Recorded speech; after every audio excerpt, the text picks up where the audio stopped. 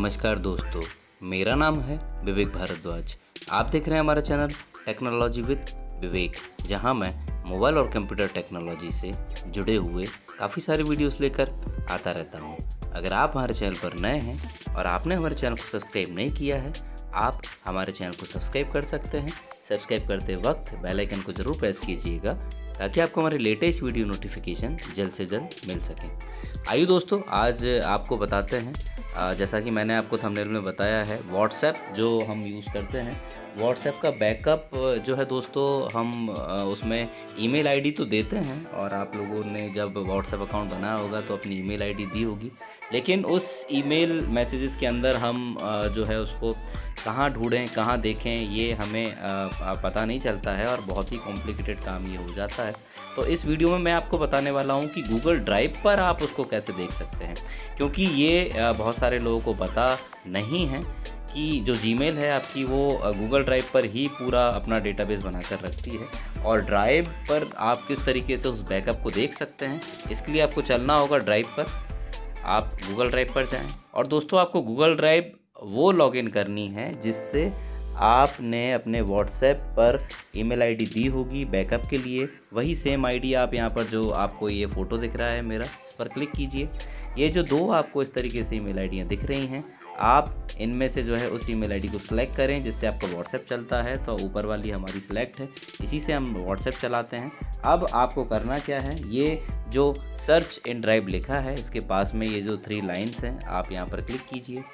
यहाँ क्लिक करने के बाद दोस्तों एक ऑप्शन आ रहा है चौथे नंबर पर बैकअप्स ये बैकअप्स को आप देख लीजिए। यहाँ पर आप जैसे ही टैप करेंगे दोस्तों आपकी ईमेल आईडी आपने जहाँ जहाँ बैकअप्स के लिए दी है जितने भी बैकअप आप ले रहे हैं वह सभी बैकअप आपको यहाँ पर एक क्लिक पर आ, मिल जाएँगे। और देखिए जैसे कि हमारे फ़ोन का बैकअप है दोस्तों नीचे आप व्हाट्सएप का बैकअप देख पा रहे हैं।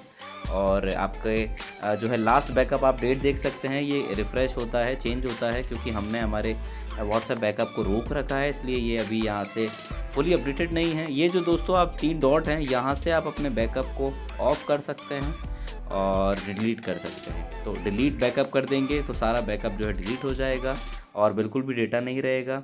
टर्न ऑफ़ कर देंगे। अगर आप कुछ टाइम के लिए चाहते हैं कि कुछ ऐसा पार्ट है, कुछ ऐसा हिस्सा है जिसका बैकअप नहीं लिया जाना चाहिए तो आप इस बैकअप को यहाँ पे टर्न ऑफ़ भी कर सकते हैं। ऊपर आप हमारे मोबाइल फ़ोन का बैकअप देख रहे हैं।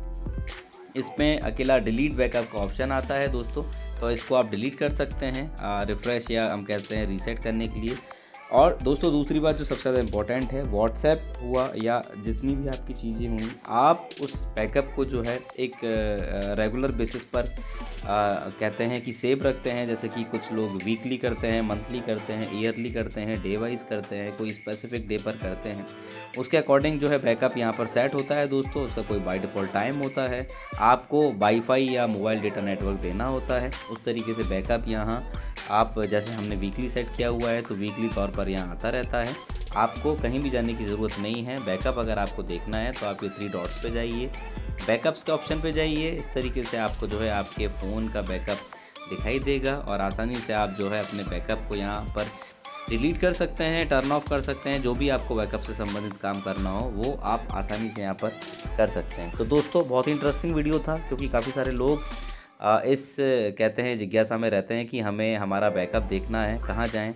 जीमेल क्योंकि बहुत ज़्यादा कॉम्प्लिकेटेड होता है email send box draft box star box बहुत सारे वहाँ पर ऑप्शंस होते हैं। तो गूगल ड्राइव पर आप आसानी से एक या दो क्लिक की मदद से जो है अपने बैकअप को देख सकते हैं। तो दोस्तों, मैं आशा करता हूँ आपकी वीडियो पसंद आया होगा।